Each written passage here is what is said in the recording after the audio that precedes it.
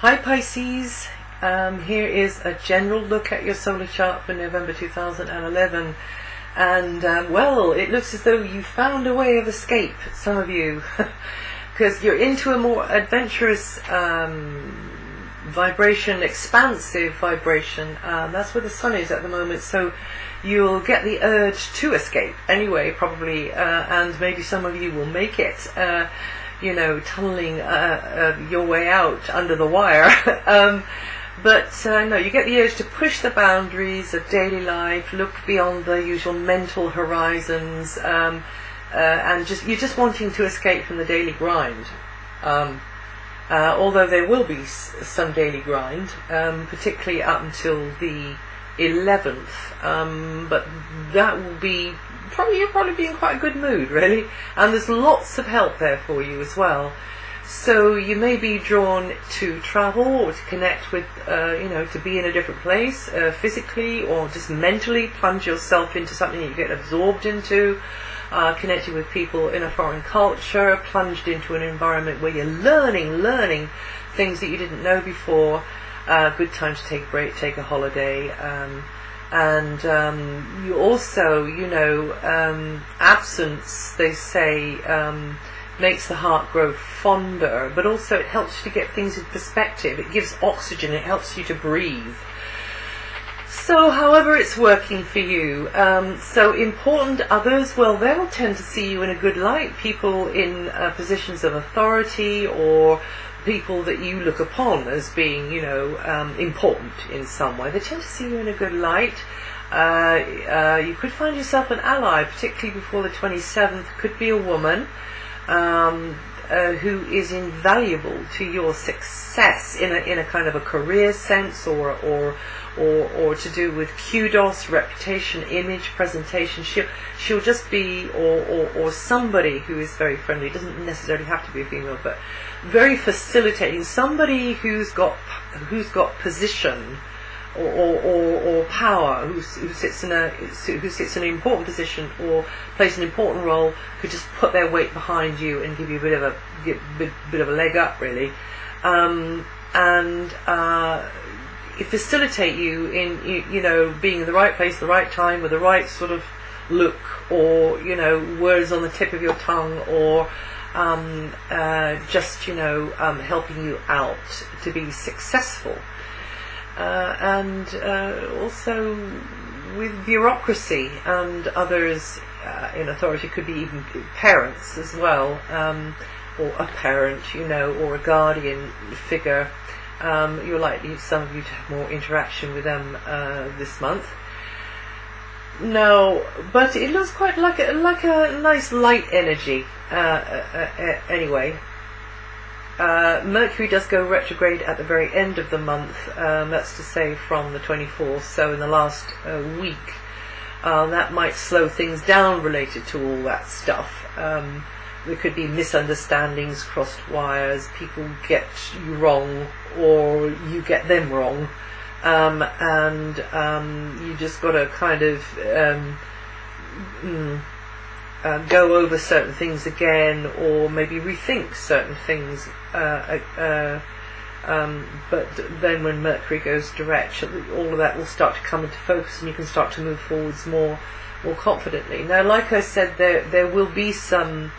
Uh, the daily grind I mentioned before. Um, this is this is a time when you could be, um, you know, productive, energetic, uh, likely to find that you and someone can team up together and do business together, um, and just make sure you each of you understand where you're coming from here.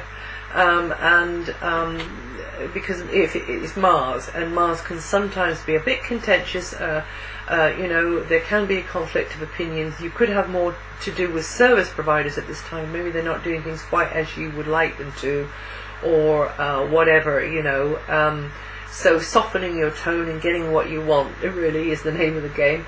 Uh, and um, but at this time, you know, somebody could make a space available, tools, equipment available, um, uh, and um, you know their their knowledge, uh, their contribution in some way, which is helpful to you, very helpful to you. And then after the 11th, um, collaborations are still a key feature, but not so much on the hard working level. Then it, you know, it becomes more of a bonding exercise, of mental rapport. Um, it's more to do with close uh, relationships, um, and um, that can be working ones, that can be formal type relationships, as well as uh, personal relationships. Um, but um, it, that's a time when a relationship can, um, you know, you, you you can really be um, meeting and greeting and uh, really getting to know someone. But again, there can be moments of tension or conflict.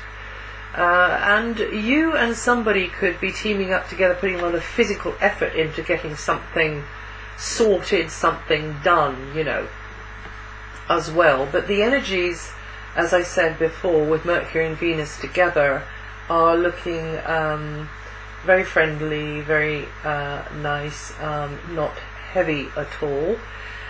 Um, on November the 25th, the new moon um, partial lunar eclipse, um, that's heralding fresh beginnings uh, uh, in your career or in you know your public image or to do with parents and guardians over the subsequent month, but that and then that's followed up with the total solar eclipse on December the 10th. So um, that can be quite a prolonged phase there, of several months of, of fresh starts related to that area, those areas there.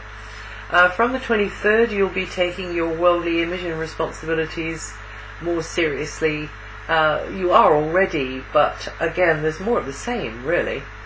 Now, um, you can leave this video now or and just go to my website and read about the outer planets or you can listen to me going over them uh, again.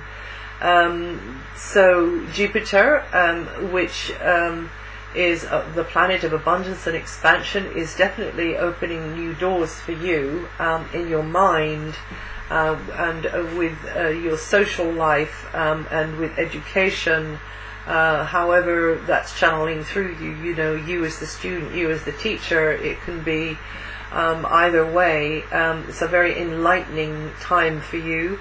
Um, uh, it's a it's a very upbeat. You know, it really can boost your mood, boost boost your um, your morale. Um, this this energy here um, and you could be making a lot more contacts, whether it's for you know professional sense or a personal sense, a lot more contacts because Jupiter, as I say, is about abundance um, in person over the wires, but having a very very full kind of dance card, as it were. Um, and uh, Jupiter is opening new doors in your mind, as I say, showing you the uh, um, what's new. You know what's new on the block, and some of that could be very um, informative, very, very um, um, uh, eye-opening, really, and helping you to get the eagle eye view over everything anyway. Uh, so it's a great time for education, as I say. It's a great time to be beating the drum on something, putting the word out there, publicity um, over a wider and wider and wider area. You know, you you want others to know about whatever this thing is um, and casting your nets wide, that would be advisable. So definitely a time to be developing your expressive skills, whether that's through speaking, writing, or um, the arts. Um, a very good time to be doing that, and your people skills as well. And not to forget, very importantly, your your your, your psychic skills. Um, also, because this is about another way of communicating which is non-verbal, it's telepathic. So um, very good for all of that. Now Saturn um, until uh, autumn 2012 does keep you tied to somebody's apron strings related to money or property. Um, regulations, a contract might be an old contract, you know, but you're kind of stuck in it. Um, and uh, it doesn't necessarily have to be a bad thing. It's just that it kind of keeps you um, within their control in a way, and um, you should be building something which kind of uh, bypasses this uh, control so that you have more freedom uh, for, for, yourself.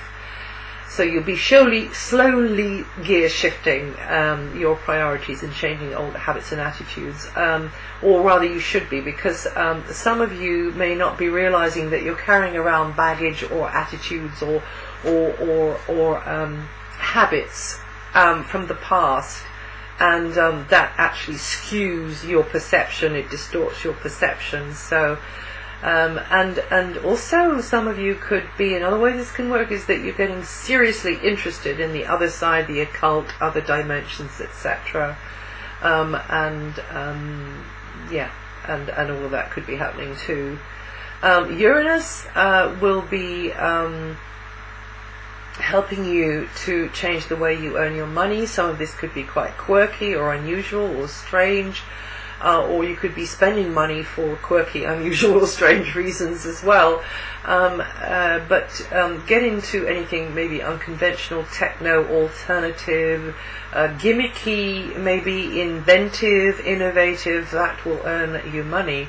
Um, there's never a crowd on the leading edge, so sometimes it might feel a bit risky out there, you know, all on your own. But um, again, you know, you've got this wonderful intuition, Pisces. So just feel that, you know, feel the body, feel the gut, uh, feel the heart speaking to you. Um, uh, don't convince yourself, you know, don't deceive yourself about something. Just listen to the body and um, keep the mind still.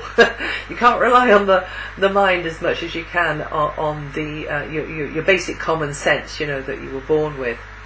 Um, so and um, you know it could be a revolution in your thinking in the way you're earning your money that gets you on the right track also this money earning could be to do with large groups of people it could be to do with information technology and networking and, um, and blogging and, and all of that sort of stuff that could be another way that you can be earning money but also uranus in this area um, um, will will help you, you know, um, quite suddenly sometimes to develop your talents and to um, uh, make something, you know, of, of, of a talent, and everybody has talents, at least one. Um, so, yes, for you to uh, find a way to um, actually turn that talent into um, a skill, which can be lucrative and and um, you know. Uh, give you a sense of empowerment. So that thing that you always really like doing, but um, for one reason or another, um, expectations, advice, education, whatever, you missed out.